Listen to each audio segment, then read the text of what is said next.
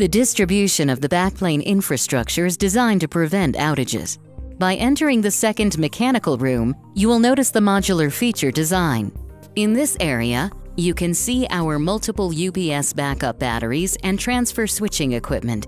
That is the nerve center of CyrusOne's 2N power architecture. This restricted area requires authorized access for employees, visitors, and contractors.